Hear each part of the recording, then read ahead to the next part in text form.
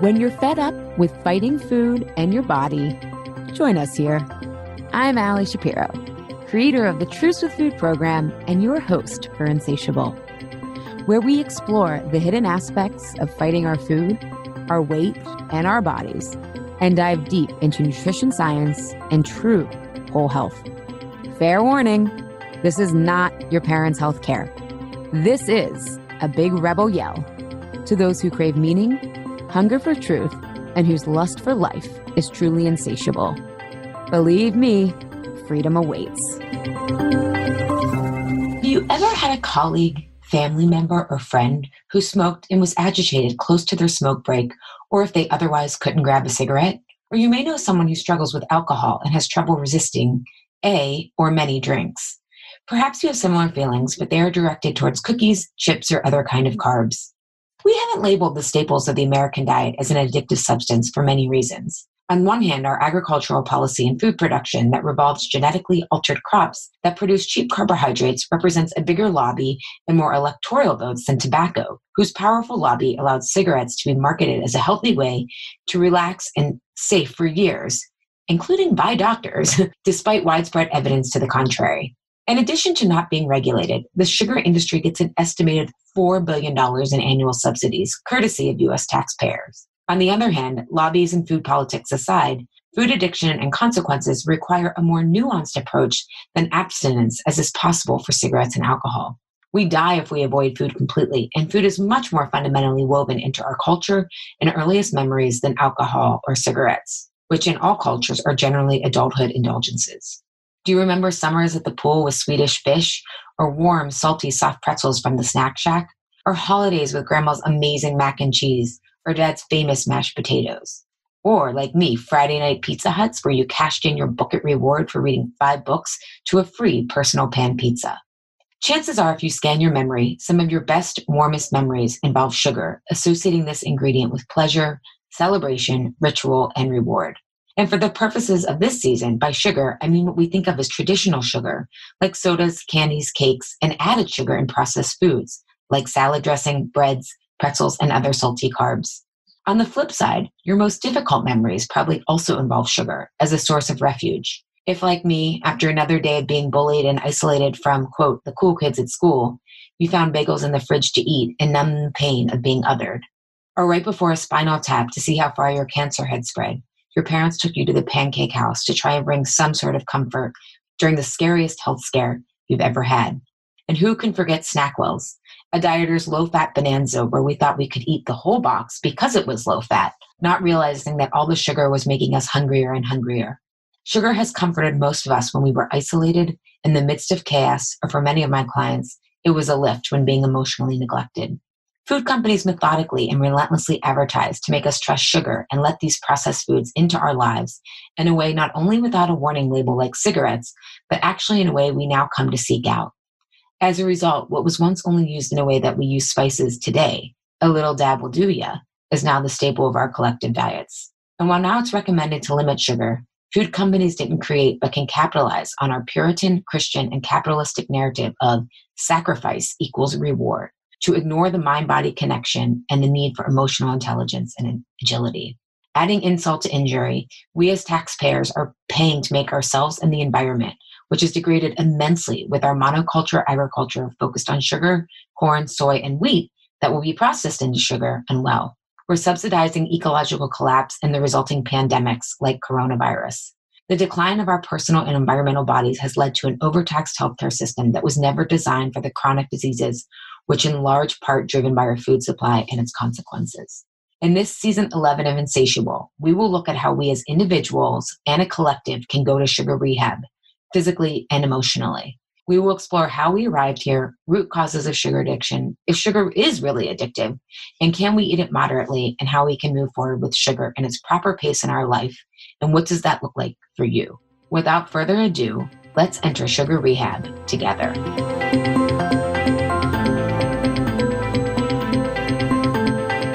Everybody, to season 11 episode of Insatiable How to Exercise to Prevent Sugar Cravings with Alisa Vitti.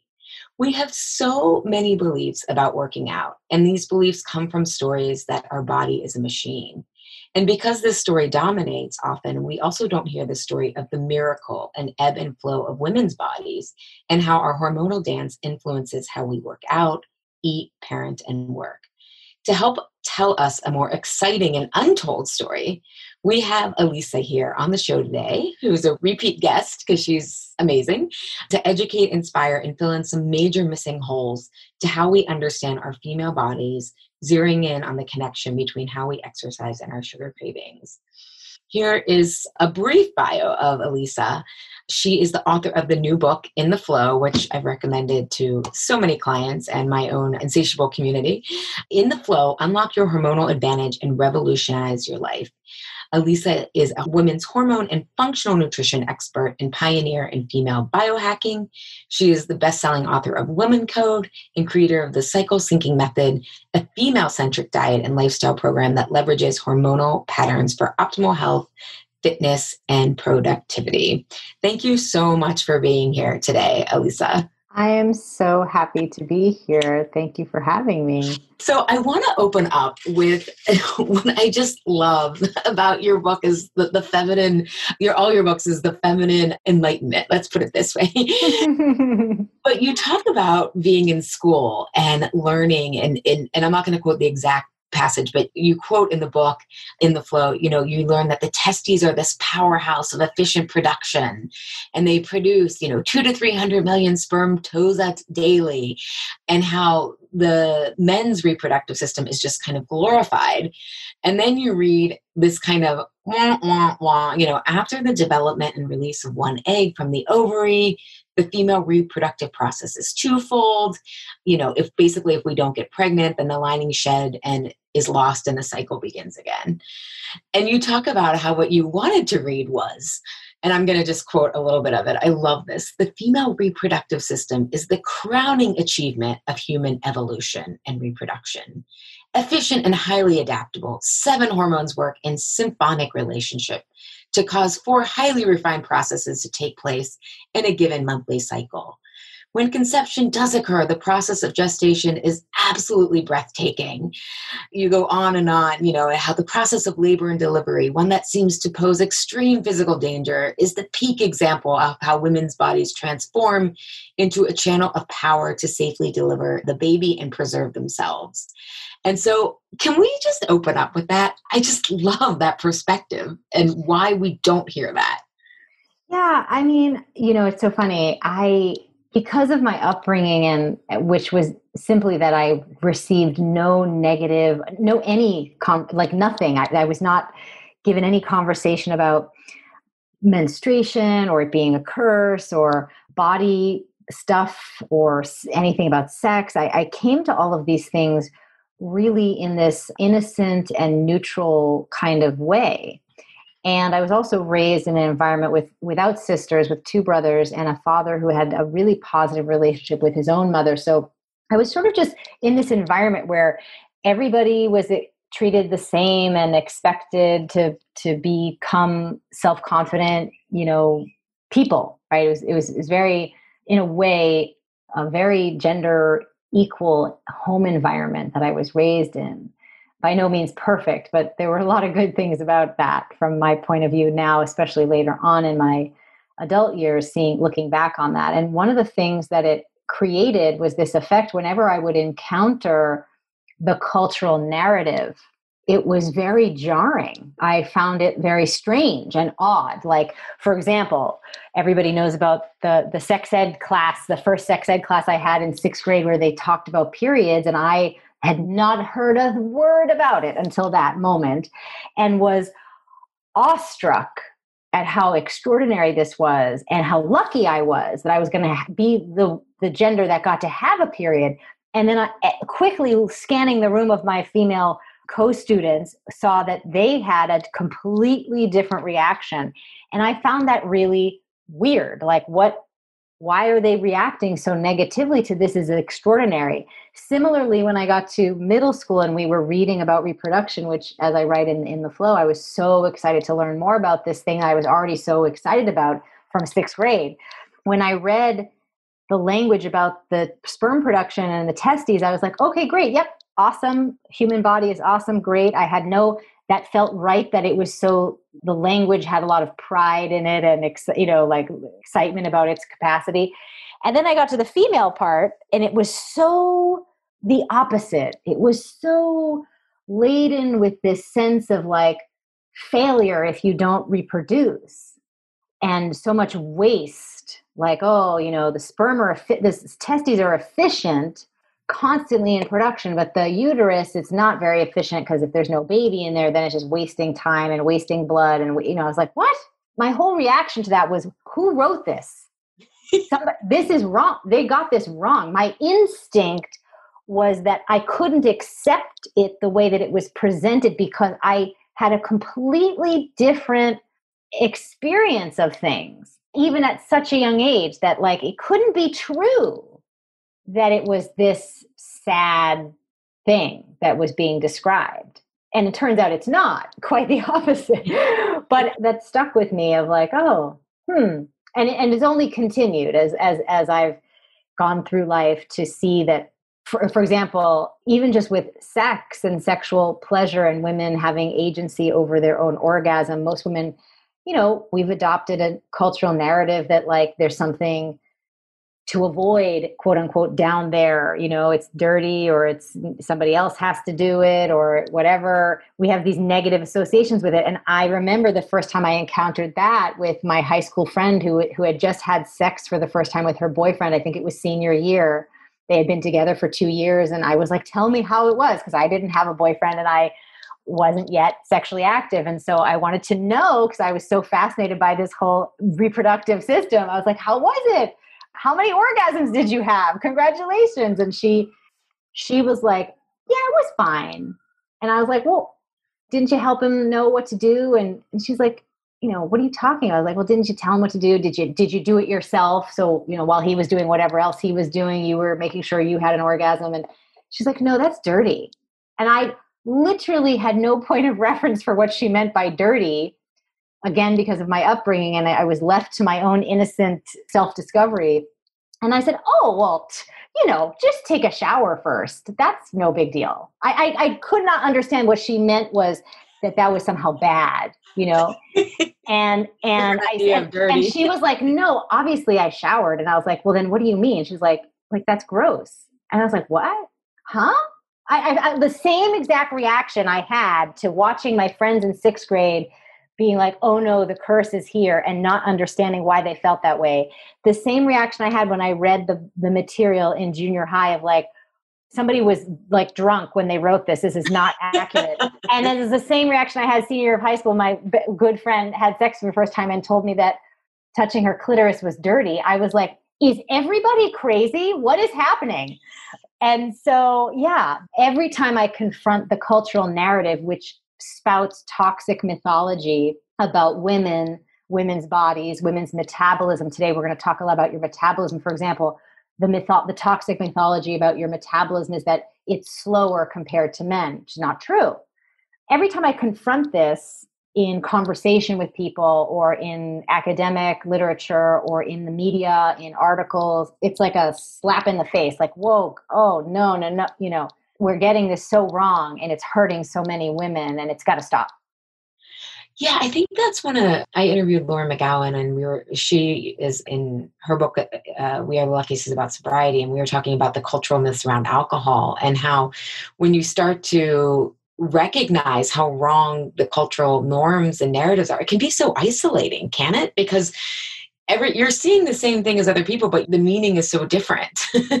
And it's like you got to bring people along with you and kind of be that voice. And that's it's it can be exhausting and isolating doing um, that i think i can appreciate how that maybe can be the case for people. I have never felt that way. I think i've maybe because i had started such a young age that this is not I don't know anything else, but it's never felt isolating. It's felt oh, like the basis upon which I am able to connect and form relationships and find community and share my gifts and yeah I, I have a different take on it for me but I, I i do appreciate that for some people especially with the alcohol thing that you know that that can feel socially isolating but you know i think it comes down to if you've been indoctrinated as a young woman, a young girl, to be a good girl, then you know that's going to set you up for a lot of challenges. For example, good girls,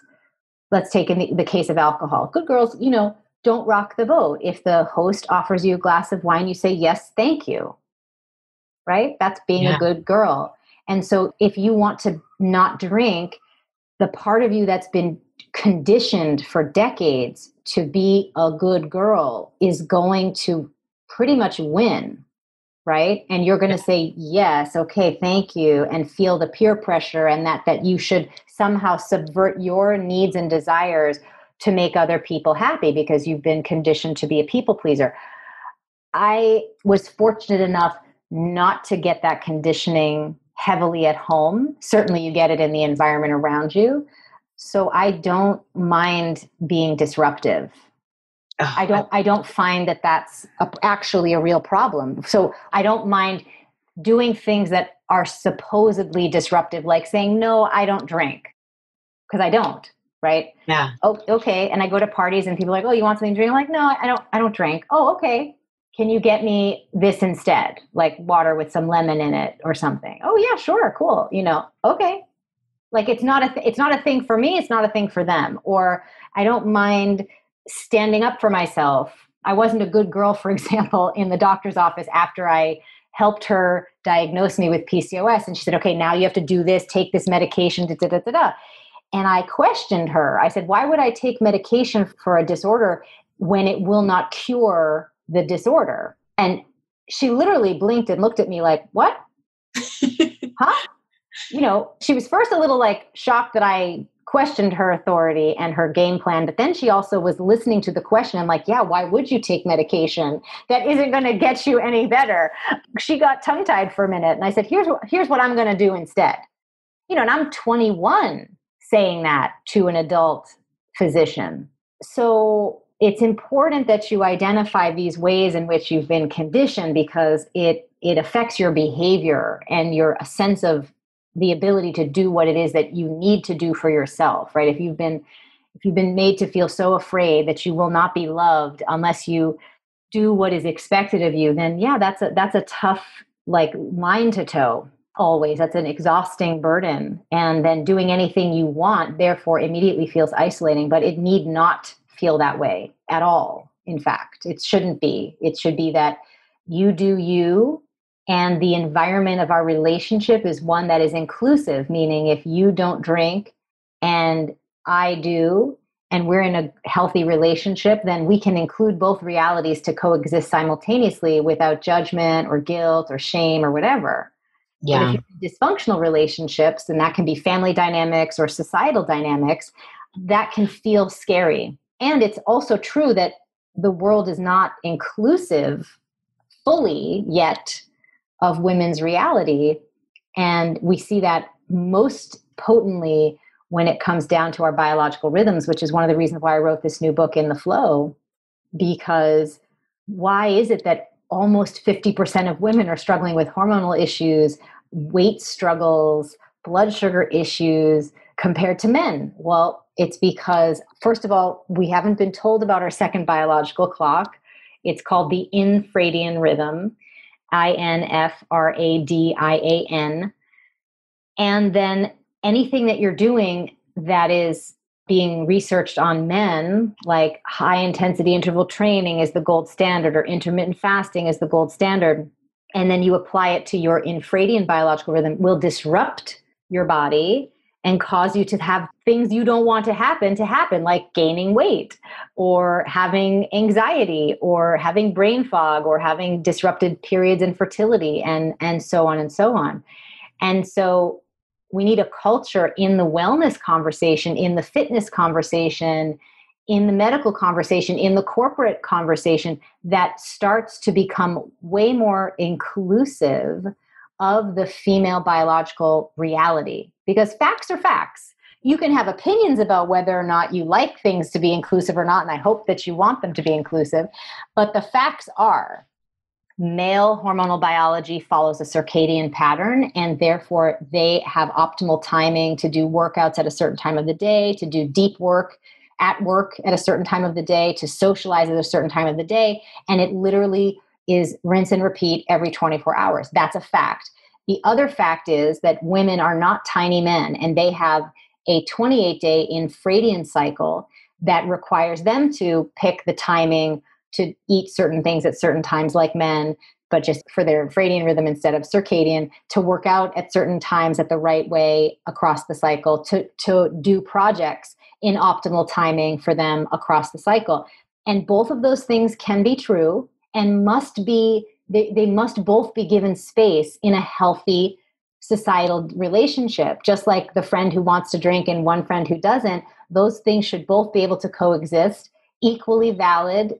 And in our culture, we need to have the male experience of biological reality and the female one be included in our cultural narrative so that women can stop having all this imbalance these unnecessary disorders of the of their hormones and to start to thrive in their lives I love that. And how did you figure out about this infradian clock? Because most of us, if we're our eating or workouts or our daily or weekly schedule is on that 24 hour clock, which to what you said is really centered yes. around men's hormones. Yeah, it's hurting um, you. It's hurting you to live a circadian life exclusively. Now, how did I figure this out? Well, that's the story of how I ended up writing the second, you know, book, which is essentially that I was really excited about five years ago seeing something that was historic taking place in the media. Millennials were starting to post pictures of themselves free bleeding on Instagram, bleeding through their pants, bleeding onto their beds, running marathons without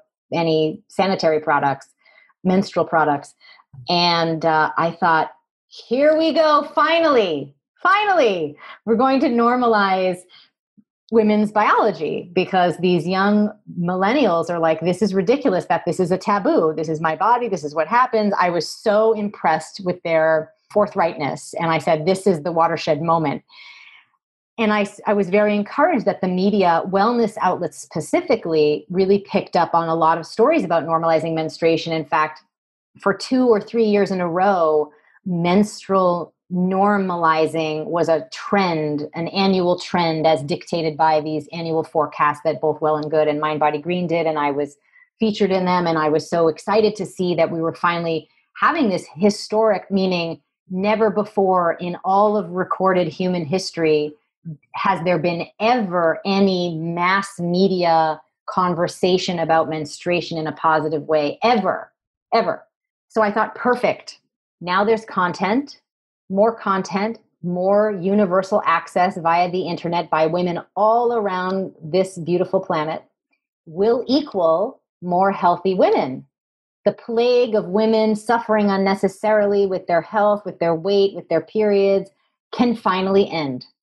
And what I saw instead over those five years where I was tracking this trend was that, in fact, no, this was not happening at all women were getting sick still and uh, up to the tune of 47% of women suffering from hormonal issues. And when you compare it with the male cohort it's like there's no comparison. Women are way sicker with hormonal imbalances than men. And i started asking the big question of what is going on? Why is this happening? Why is this the case? Because i'm a systems thinker and i like to get to the root cause of things. Just as my nature. And what i found were two key things. The first thing that i found was that women were being left out of medical, fitness, and nutrition research. And that's really important because, for example, when you go and get general anesthesia, that dosage is titrated with an assumption that you are a tiny male. It's not that it's been specifically researched and documented and there have been female females included in those human clinical trials right? And that's scary. and that's true yeah. powerful. And it's and it's true across the board in drugs and everything. And it's such a problem that in 1996 the national institute of health put out a public request that women in their reproductive years be included in human clinical trials. As of 2016 the status report showed that progress has been extremely slim. So in 20 years almost no new research has been done with women in human clinical trials. So that means anytime, and they know that they know how much of a liability that is, and they're really working hard in the medical establishment to figure out how to fix that. In the fitness and nutrition section, where it's not like, you know, let's say as life critical as as the medical environment and complex to do the research, the the fact that this gender gap in research still exists is really really problematic for me because women are reading all these stories about oh the latest study shows that intermittent fasting for 18 hours a day is going to confer all of these enormous benefits on your health. It's going to reduce your weight improve your cognitive health protect your brain from dementia. It's going to improve insulin sensitivity. It's going to increase cellular autophagy. It's it's the it's the golden standard now of, of living a healthy life well, that research has not been done on you. That's been done on men and postmenopausal women. And I dug up some really interesting research that I put in the book about how, in fact, it's really dangerous that that we're not having more transparency in these articles that says, hey, full disclosure, this study that shows this has only been done on this cohort. So if you're not part of that cohort, you should proceed with extreme caution because we don't know how it's going to affect you. But instead, we get the conversation that this is good for you and this is good for you and that's good for you. All the while, all of that research and all of those studies have been done only on men.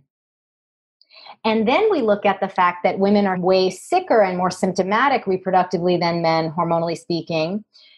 And it, no wonder why.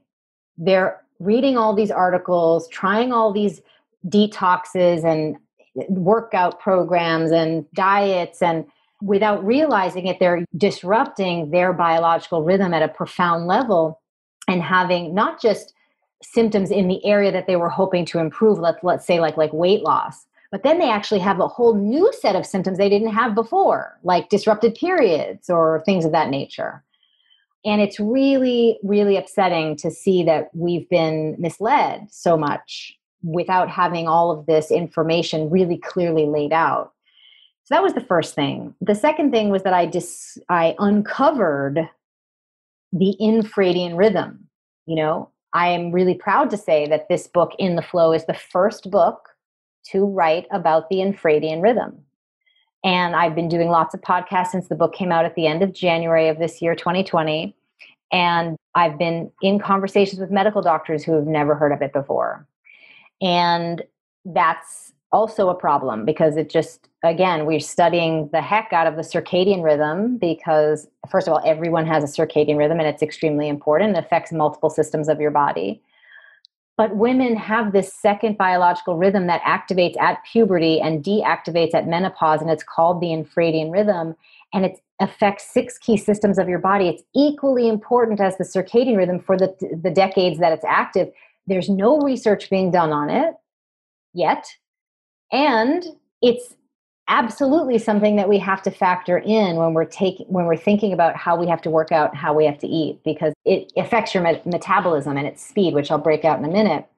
So that led me to want to write this new book to explain these challenges that are unique to women in this with the gender gaps that exist in research and what the net effect of that has done is disrupted all of our infradian rhythms so profoundly that we're having a multitude of system problems, right? From brain chemistry, cognitive performance, weight issues, metabolic issues, immunological issues, microbiome issues, stress response issues, and reproductive issues, right? And what we don't need is a fix for our metabolism and a fix for our reproductive system. What we actually do is start supporting this deep, deep root cause, which is supporting the infradian rhythm. And then all those systems start to work optimally, which, by the way, is exactly what the male biohackers are doing. They try to optimize that root support of the circadian rhythm, and things start to work much better, right? So, this is new science. It's in the field of biology. This is called chronobiology. And like I said, it's a relatively young division within biology as a whole.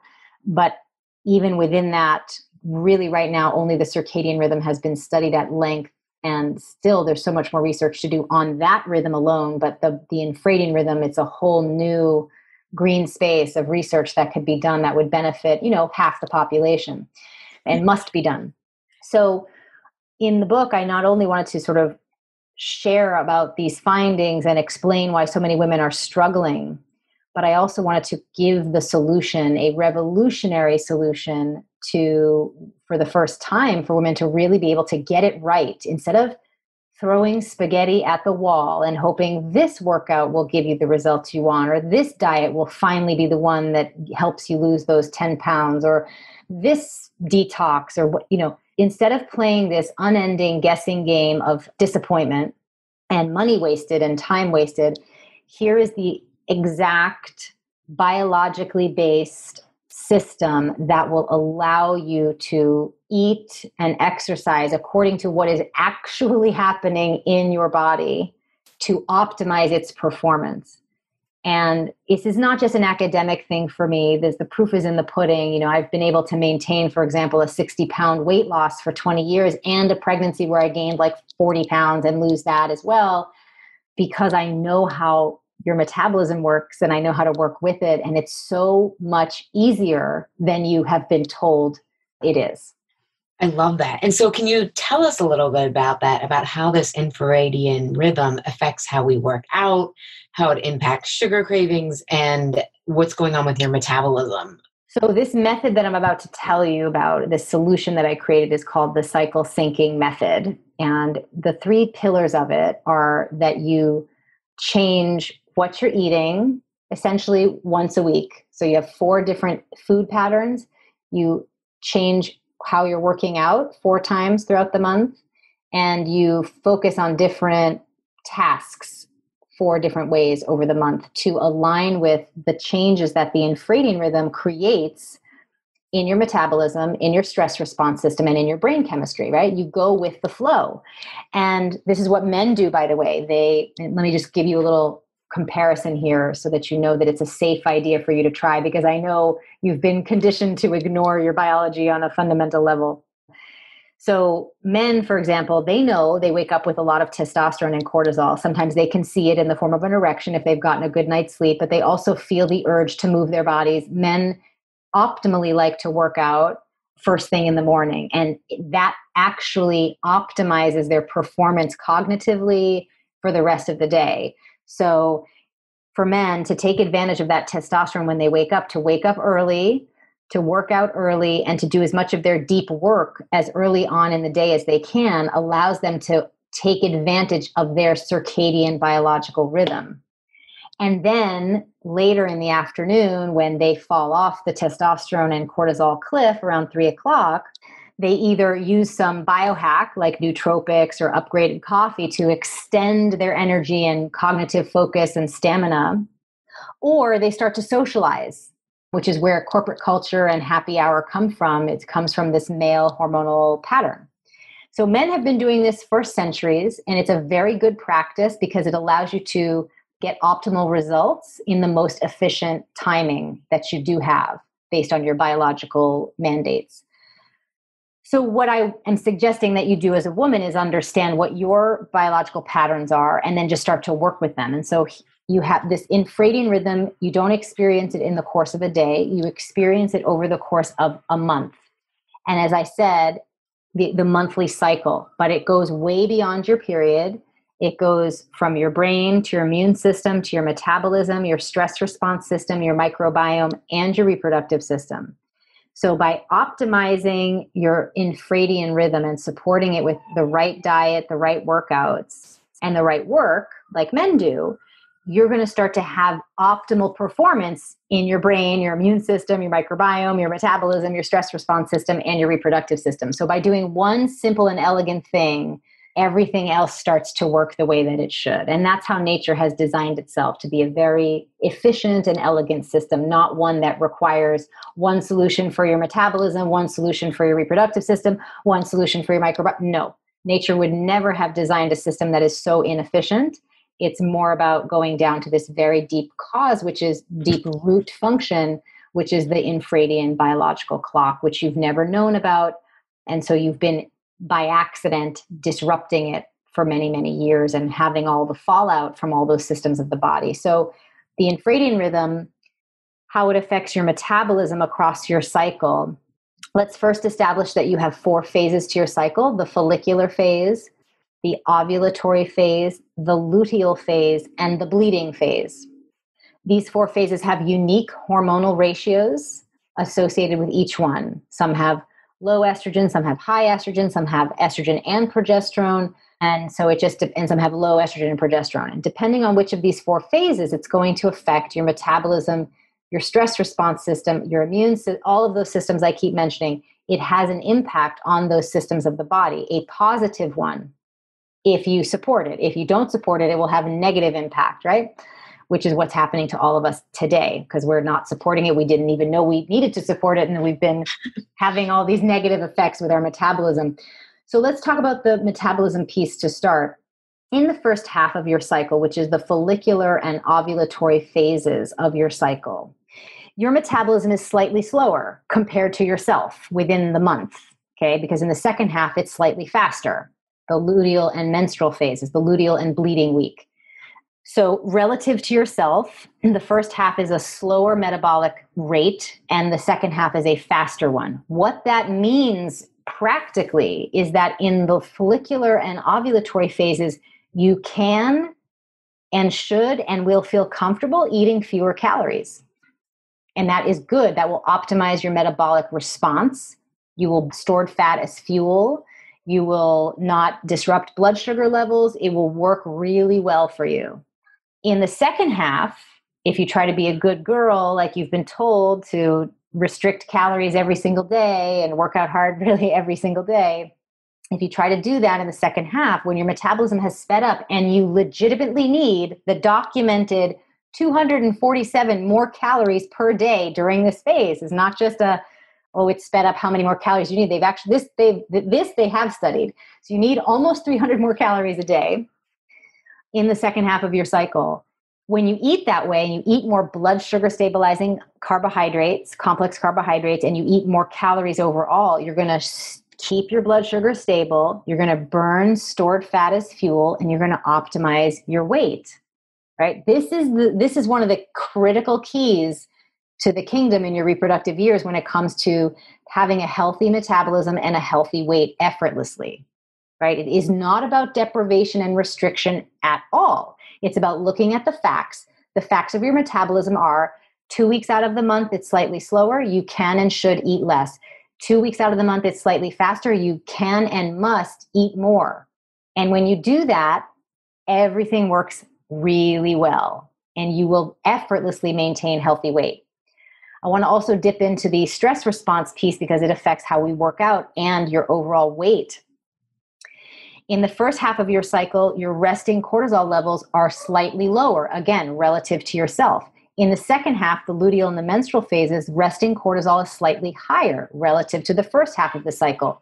What this means is that in the first half of the month, when resting cortisol is lower and when your resting metabolism is lower, you can and should, in order to optimize using stored fat as fuel and, and keeping blood sugar stable, you want to do higher intensity workouts with a cardio component like HIIT workouts and any cycling cardio stuff right? Running. In the second half once you cross ovulation you must not do HIIT workouts or cardio because resting cortisol is higher and you will burn through your adrenal reserve faster because you're already producing more cortisol even at rest which means then that your body will start to produce more cortisol, disrupt blood sugar, and program your body to store any fuel that you have as fat. Not to mention, if you do HIIT workouts or high intense cardio workouts in the second half, you're going to turn on muscle wasting as well as turning on that fat storage that I just described. So, once again, that you look at the science of what is so in your cycle in your life, in your metabolism, being affected by this infradian biological clock. Eating the same way every day and working out the same way at the same time every day makes no sense, is illogical, and is bad for you. It's really good for guys because they, again, are on that rinse and repeat 24 hour clock. You are not. You are not a tiny male. You are not a smaller version of a male with a weaker metabolism that needs constant restriction and killing yourself at the gym. You have an extraordinary infradian biological rhythm. You have a powerful and highly efficient metabolism because you have been encoded with the blueprints to reproduce tiny human beings, whether you choose to do that or not. Nature gave you the much more efficient metabolism and the much more efficient stress response. And so you have to understand how it works and then work with it. And that's what the cycle syncing method will help you do. In chapter four of the book, there's a chart just for the food. Chapter five of the book, there's a chart just for the workouts. And then in chapter six, what's really revolutionary is that you're going to get access to the world's first time management system that includes both your infradian rhythm and your circadian rhythm because when you're planning your day and your week and your month, you have to factor both in for your optimal health, but also your optimal productivity. Again, men are doing this every day. That's what corporate culture, why it looks the way it looks early morning meetings and late afternoon happy hours, because that syncs with male hormonal patterns. You need to be able to do the same for yourself. And so I built a planner for myself that I've shared with everybody in the book that allows you to do that. So those are the three pillars of the cycle syncing method eating, exercising, and planning your work in ways that are in alignment with that infradian shift. I love that. I'm, I'm thinking about how I remember being at a bachelorette party with the woman whose party it was. She was a trainer, and it was mostly all trainers and me.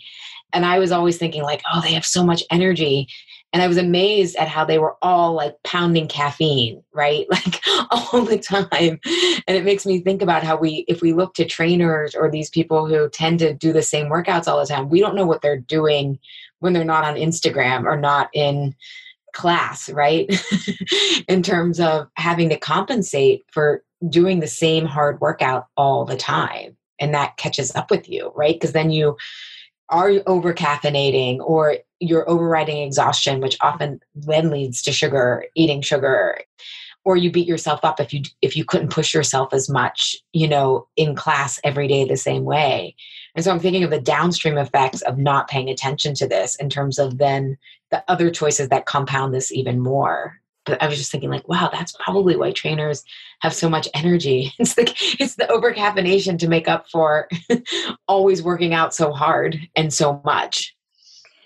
Yeah, I mean, I think it's really challenging for the fitness conversation. You know, for example, when you go into a class at a group fitness class, they're always an hour, and that's not always appropriate for you right? If, yeah. Especially if you're near the second half of your cycle, you need to be able to stop working out after about 30 minutes.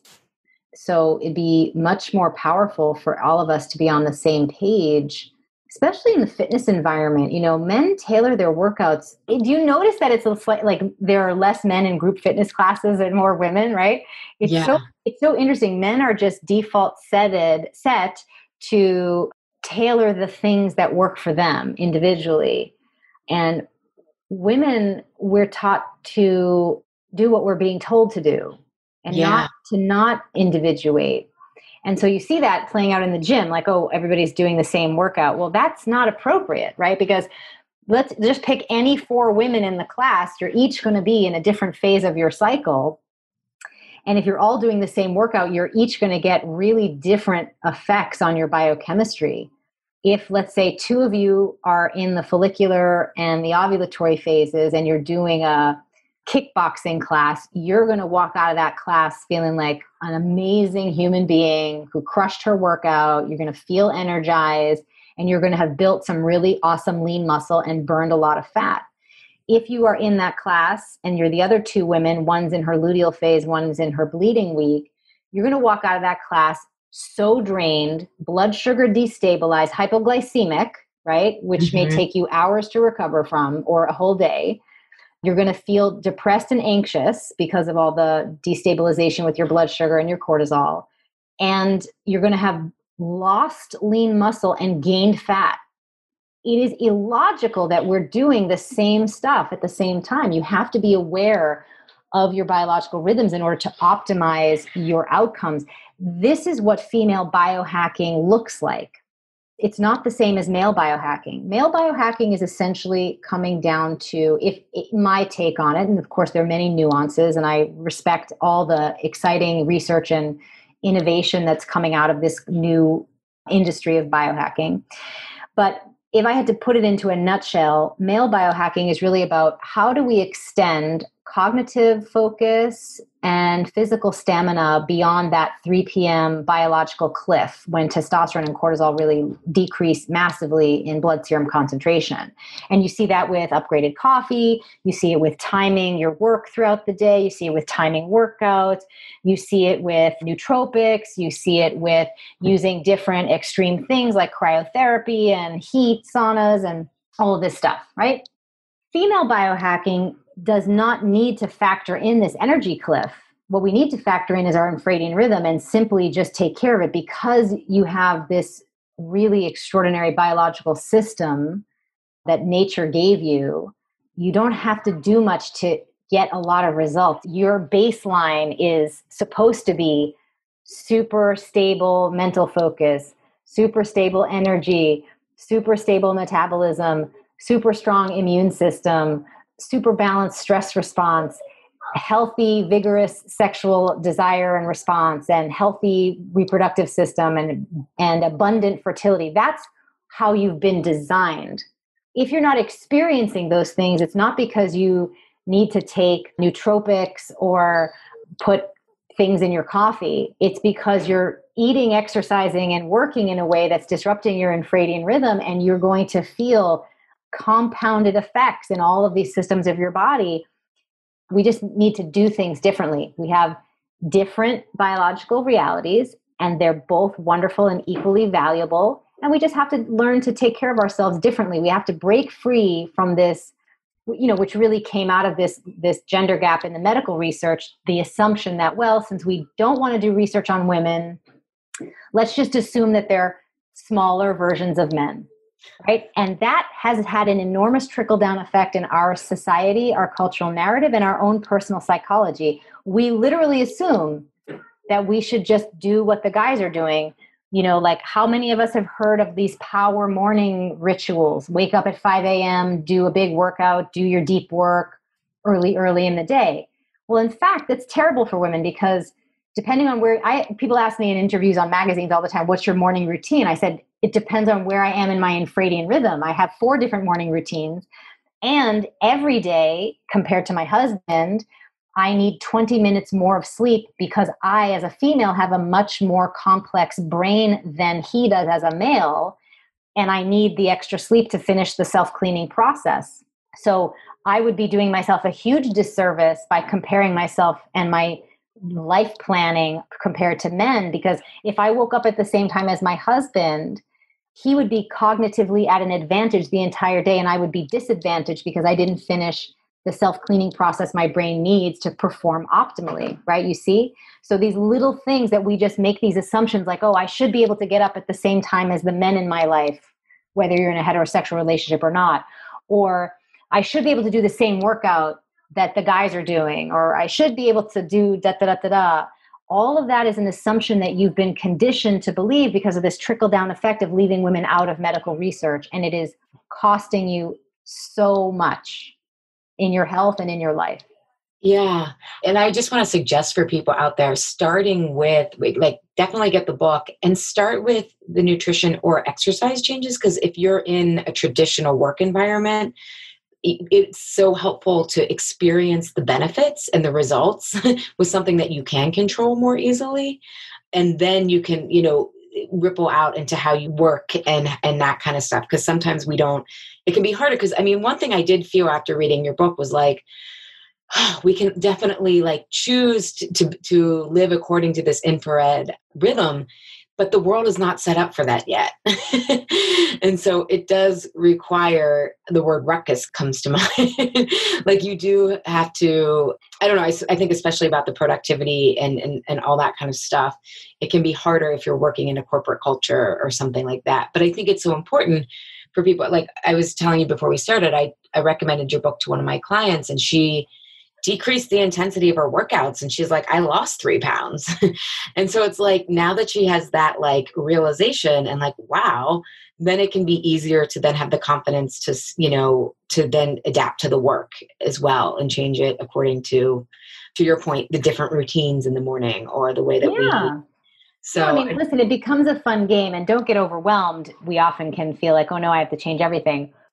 When you start using the cycle syncing method, the first thing you want to start with is eat, pick one change your workouts or change your food. Follow the chart there's recipes and meal plans in the back of the book. You can also make it much easier for yourself and join us at the cycle syncing membership.com where you can be part of a humongous community of women who have seen the light about their infradian rhythm and are doing this and getting all the support tools together. So you'll get recipes grocery lists meal plans for each phase of your cycle. You get workout videos for each phase of your cycle. You get all the support mm-hmm. around your time management. And then of course you get ongoing classes with me where I'm helping you address this issue that you just brought up, which is, you know, what if the things that are good for me don't jive with the circadian world, essentially, right? What if my boss wants me to do a project on deadline and it's not in my optimal phase or something to that effect? Well, there's ways to work with that that don't drain you if you know how to navigate both the circadian and the infradian, which is what that whole time management planner is all about. Because it isn't about isolating yourself and, and abandoning the world around you. Not at all. I, I live in the world. I function within the world. I run a company. I have a husband. I, you know, totally no problem. I, you know, you live in both the circadian and the infradian, and you just have to learn. How, it's just building a new skill of how to learn it. But I don't want you to assume that it's one or the other. It's not. It's both. But what you have been doing is one or the other. You've just been doing the circadian. But that's not the solution, is not to drop the circadian and only live in the infradian. The solution is to do both because both are happening inside of your body. And there's a, very straightforward way to take care of all of this. And that's what I've outlined in the book. But don't bite off more than you can chew. Start with one thing and build your confidence and start to see, like you're, you were saying, one of your clients lost weight for the first time effortlessly by working out less and doing it at the right timing. Well, that's what can happen, not just with your weight, it can happen with your PMS symptoms. Those can start to evaporate really quickly. It can start to happen with the fact that you are getting things done that you've been putting off on your to do list. All of a sudden, you're going to have more and more energy freed up from not being under the rock of infradian disruption. And you're going to start to be more efficient, more productive, more creative. It's a wonderful a wonderful new way to live and not just take care of our weight and our health. That's not the destination, weight management. And I'm somebody who's been obese so you know for me i that's still not the destination in my life of having the perfect weight the destin that's the foundation right having your health working for you is your foundation off of which you springboard into creating the life that you want and using your talents to help the world around you. That's why we're here, not to have the perfect pants size. I mean, that's a whole other piece of mythology I think is really toxic for women. Your destination in life is not to look perfect. Yeah. You're like a unique snowflake. You hit the jackpot of the genetic Russian roulette, you know, the sperm and the egg that created you out of the infinite statistical analysis of that is pretty extraordinary. You're here, you have this one wild and precious life.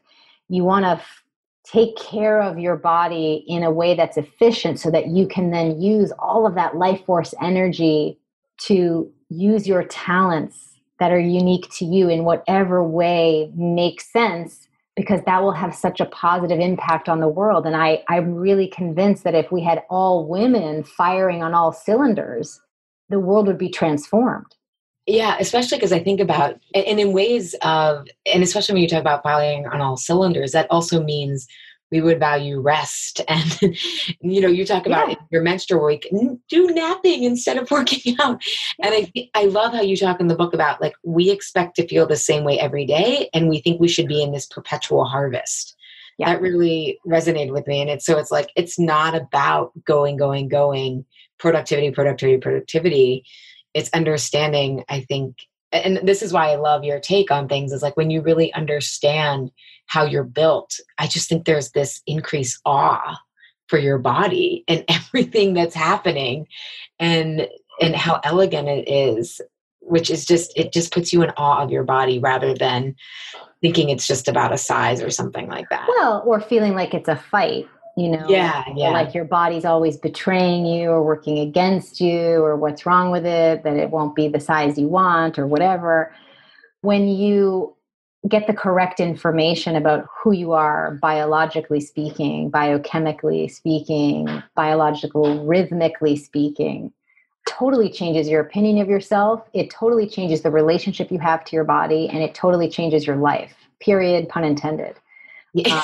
uh, and and imagine if you had been given this information right before you got your first period, that you were going to have this incredible biological rhythm that gets activated, a second biological clock unique to women that imparts tremendous gifts metabolically, immunologically. There's so much we didn't go into today that's in the book, brain wise, and that it's unique to you and you only have access to it for about four decades. It stops at menopause and it's it's a privilege how you would have felt about yourself during those pubescent years how you, that would have affected the entire trajectory of your life whatever that feeling is you're feeling right now as i speak those words that feeling is the pain of the opportunity cost of not having had this information at the correct time and i hope and i bring these difficult things up not to rant and rave but because I hope that it gives you the passion,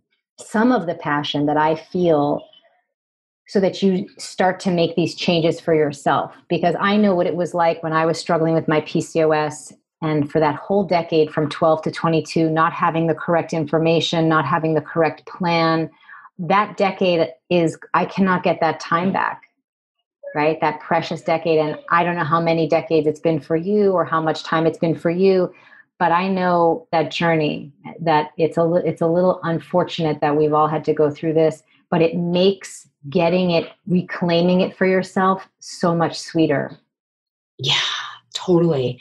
And and I do want to mention that in the book you even talk about how to adapt this to perimenopause post pregnancy and even even menopause right? When you start to understand your hormones even if you're not leading but menopause is a powerful passage rather than the cultural narrative of like you're done. You know there's there's always still time too i think you know yeah to, no i mean the book is almost 400 pages so there's a yeah. lot in the book. Um, I, I threw it flew through it. It was so fascinating. Like it was just like oh my god I, women women are really responding in a similar way that they it's like you feel sponge like when you encounter this information because it's the thing you've needed but didn't know you were missing kind of a feeling. Mm-hmm. So you just have this voracious excitement about learning about it. And I don't shy away from being technical in the book and scientifically accurate. I know I've had some feedback about you know oh you know you're you're too academic and women are not going to like that. I'm like no no no. Women are hungry for that. They want the academic stuff. Of course it wasn't women who were saying that to me. Anyway um, oh so, so i go into that. I go into in the book as well what if your period is dysfunctional? What if you have pcos what if you have missing periods? What if you have amenorrhea? What if you're on the pill how does this impact your ability to access your infradian rhythm? What does it mean? There's a whole biohacking toolkit in there that helps talk through all those issues. So no stone is left unturned. Every question is answered. And the whole plan, chart by chart by chart, everything is laid out so that it is goof proof for you to really start finally taking care of yourself in a way that's going to really change things for you, the ways that you've always hoped other things would have but could never have been possible because they were based on a different biological reality. Yeah. And you even get into parenting too, which we didn't get into, but how you can use your cycle to, you know, and, and how you parent as well. So it's not just work, it's par- it's like every area of life. And again, to kind of tie it back to sugar cravings, it's like we often want to reward ourselves when we're making things harder than they are, than they need to be with sugar, or we get so exhausted from our workouts or we don't nap. so during our period and we, we push through with workouts and then we, we need you know sugar for energy but i feel like your plan is so elegant and can so help people feel safe in feeling different and using each phase for what it is designed to do and firing on all, all cylinders, as you said. So thank you so much for this. It's a health book, but it's an important contribution to feminism as well, right? well, thank you for saying that. What can I say? I, I love through the lens of what I've studied as for female biology, it's hard not to be awestruck and be in love with all things female. And if anything, this book is like my love letter to your body. And hopefully, that love letter to your body will help you finally make peace with her and be in love with her too, because that's what you deserve. I love that. I think that's a beautiful note to end on. Thank you Thank for having me. yeah, thank you, Alisa. And we will have links to your site and the book and all that stuff. And is there anywhere else where you'd like people to find you? I know you guys also you also have a very great Instagram account as well. Yeah, you can find the Instagram account at FLO Living, or my personal one is at alisa.vitti. If you want all the free, amazing gifts that come with the book, go to intheflowbook.com and download those there. And if you need any help with your hormones at all, go to floliving.com for our programs, our one on one coaching, our spectacular female biohacking supplements. And if you need the cycle syncing app, that's myflotracker.com. That will really help you start to really understand which phase you're in and what to do when. And like I said earlier, if you want to join us and all the other cycle syncers, come to the cyclesyncingmembership.com. I love that. I love that. Thank you so much, Alisa. Thanks for having me. Health Rebels, for tuning in today. Have a reaction, question, or want the transcript from today's episode? Find me at alishapiro.com. I'd love if you leave a review on Apple Podcast and tell your friends and family about Insatiable. It helps us grow our community and share a new way of approaching health in our bodies. Thanks for engaging in a different kind of conversation. And remember, always, your body truths are unique, profound, real and liberating.